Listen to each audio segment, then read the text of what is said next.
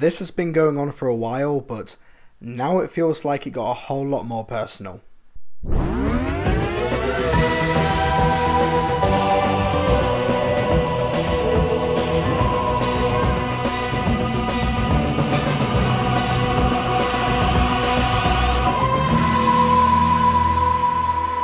Hello, ladies and gentlemen, my name is Mr. TARDIS, and as you can probably hear, my voice is not doing great at the moment. It's been a rough couple of weeks as I've just finished the first block of filming on a TV series that I'm working on, uh, and we've still got two more blocks to go, so that's another eight weeks. And so I was hoping to re- to rest my voice for this past weekend, but this weekend has kind of now become let's just hate YouTube weekend, or YouTube's just gonna gang up on Mr. TARDIS weekend.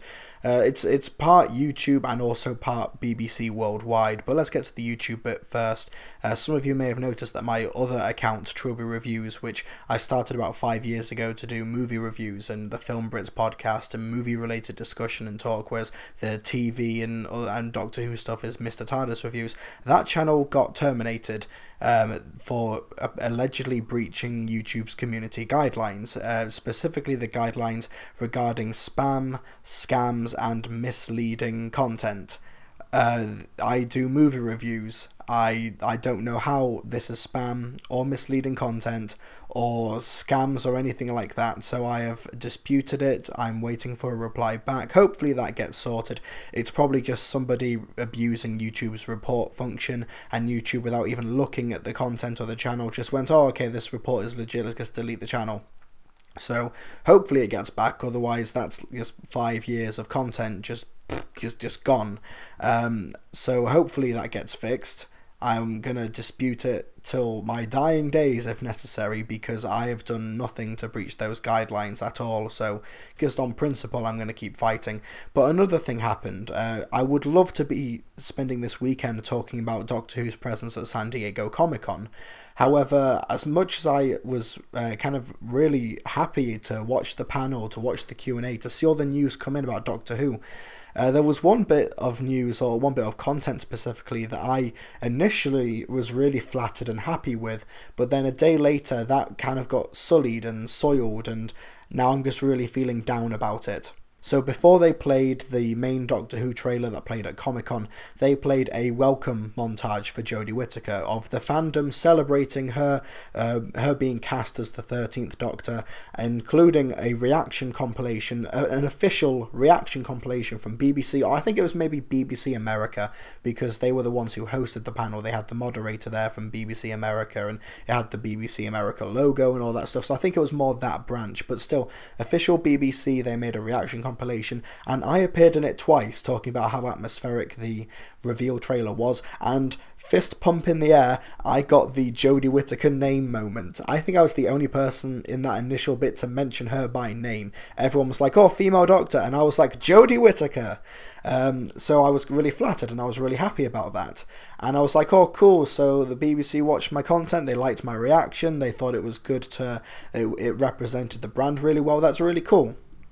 And then a day later, I received an email saying BBC Worldwide have blocked your reviews for Single Father episode 3 and episode 4. And you may be wondering, what on earth is Single Father? Well, Single Father was a four part BBC drama that I really liked, and it was kind of when I was first starting off the, the YouTube channel. Doctor Who Series 5 was coming to an end, and it was the new David Tennant drama. David Tennant had previously been the Doctor. I wanted to see what he was doing next, so I reviewed all four episodes of Single Father, which is a story where David Tennant plays a dad.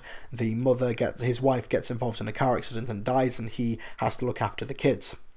And it was a really good drama the, the the content is eight years old. Hardly anyone's watching it. No one's commenting on it, which is fine. It happens. But BBC just it was a manual blocking. They looked through my library of videos and said, "Oh, this is BBC content. Block." And that came a day after they put my video in their compilation. And I'm not saying that they did it deliberately or they were being malicious or that I feel like me and the BBC have a relationship of sorts. Not nothing like that it was just the whiplash of, oh, cool, the BBC would like to use my videos to promote their content and their programming, but they will also strike down and block that content when it suits them. And that hypocrisy, that double standard, that two faced approach really just made me feel down. And this video is mainly me venting. I've talked at length about BBC's constant abuse of Content ID and of copyright claims and things like that. I've talked about it for years. It just feels like in the past year, year and a half, it has really ramped up. Um, at time of making this video, there are 26 or 27 of these claims on BBC uh, videos, BBC reviews that I've done on the Mr. TARDIS Reviews channel, where they have either been claimed or they have been blocked or some variation, anything in between. And what happens is that I dispute these claims and I always win these claims. So it's kind of a minor inconvenience. It's a weird workaround where BBC are like, oh, we're going to claim your content, we're going to block your video, but YouTube's, and also fair use in general, where I can use the footage uh, as a transformative way to critique the work.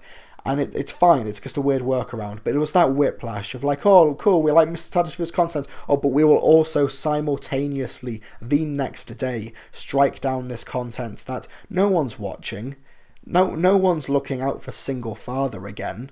Nobody is watching my Single Father reviews of specifically episodes 3 and 4. It's so weird.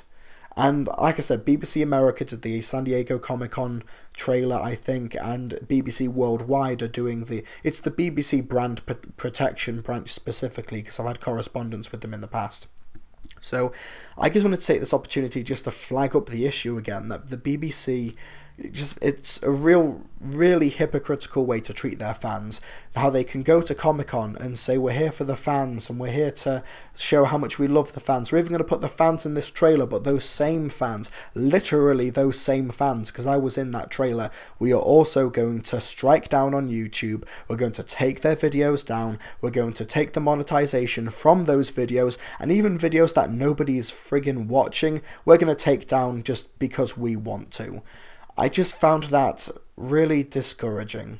But there was also an issue, I might have brought this up before, but around a year ago when my Rings of Akhaten review was in copyright limbo, where I uploaded it, but BBC was like, no, we're going to do a copyright strike on it, we're going to claim it, we're going to do all of this, and I disputed it. But what the BBC would do is that they would run down the clock, they would, they'd say, okay, YouTube gives um, co Content ID copyright owners 30 days to respond to disputes, and then BBC would run down the clock to 30 days and say, no, this dispute still stands and then the you could dispute again and then there'd be another 30 day timer.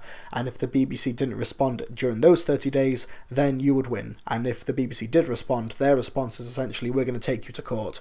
Because YouTube can't really do all of that legal stuff. They if they want the video gone they have to go through legal channels to do so. But because my reviews are fair use because they are transformative because they are approved by YouTube basically approved by copyright law BBC are like, okay, we can't take them to court, so we'll just run down the clock and just let the video go. And but during that time, I emailed them because they also claimed my review of Tomb of the Cybermen, um, Cold War, and another one, A Curse of the Black Spot. And in their emails, they said, "Oh, so with with these ones, uh, what what we'll do is that if you get rid of your disputes, we will just get we'll get rid of the blocking, and we'll just let you have the videos." And I was like, "Okay, cool." So I did it. I took away my disputes, but then they didn't do anything about it. And because of YouTube's policy, because of YouTube's copyright system, you cannot redispute after you have taken a dispute down. So because the Rings of Akhaten review was already not public, I just deleted it and re-uploaded it and started that timer again. But my reviews to this day, to this day, a year later, uh, sorry about my voice, Cold War, Tomb of the Cybermen, and Curse of the Black Spot, those reviews are now whenever people watch them, that advertising revenue will go to BBC Worldwide because they essentially tricked me or went through a really underhanded way to make sure that those videos remained claimed. And when I emailed them back saying, "Hey, you still haven't done these done what you said you were going to do," the BBC essentially responded, "Yeah, we we said we'd do that, but we just feel like you we have the right to not do it." And then I sent this these emails to YouTube, and their response was, oh boy, their response. Once I told them the whole situation, I showed them screenshots and everything, they said, and I quote, I'd like to clarify that content owners who repeatedly make erroneous claims can have their content ID access disabled and their partnership with YouTube terminated. However, please understand that YouTube doesn't mediate copyright disputes. Appreciate your understanding. So, in that email, from sentence to sentence, they are literally saying, yeah, we should reprimand the BBC for making erroneous content ID claims and lying about what they did. However, we won't do it.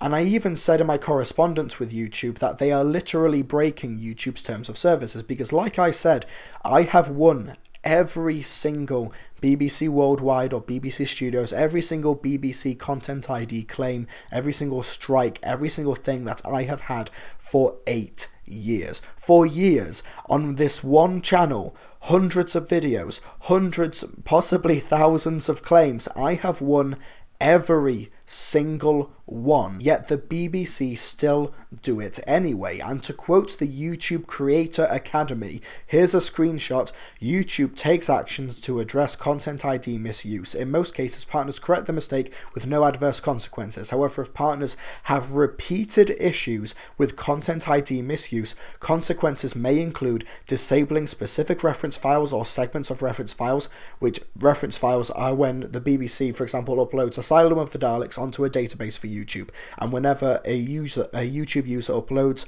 content that corresponds with that file, a footage of Asylum of the Daleks, then it flags up that. Uh, also requiring manual review for certain categories of references, disabling ID, content ID, or even terminating the partnership with YouTube as a Content ID partner, you are responsible for avoiding invalid claims such as claims from misidentified content or claims that interfere with authorized users of content.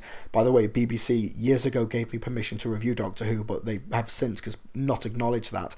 Also, if you receive an official warning about Content ID misuse, it's important to correct the issues before penalties are imposed. So, despite eight years of repeated, targeted, manual Content ID misuse, strike misuse, abuse of YouTube's copyright systems, this is a direct screenshot from the Creator Academy and also that email from YouTube saying that content owners who repeatedly make erroneous claims can have their content ID access disabled, but they're not going to do anything. They know that they're do that they're abusing YouTube's content. YouTube must know. I've told them. They acknowledge that I told them. They're just not going to do anything anyway. So, like I said, I'm, this is mainly just me venting. This is me bringing up issues that have been in the past. But, like I said, them bringing out that trailer at Comic Con, having me in it, which was great, and then a day later they're blocking my content. It's like, yeah, sure, we'll use your content, Mr. TARDIS Reviews. We'll use your content to promote our show, to promote our brand. We'll even friggin' bring it to Comic Con, but we'll also strike down and block that content when it suits us. I find that really underhanded. And before you say, oh, this is just going to be burning bridges with the BBC, well, to be fair, this is just me saying uh, what they have done.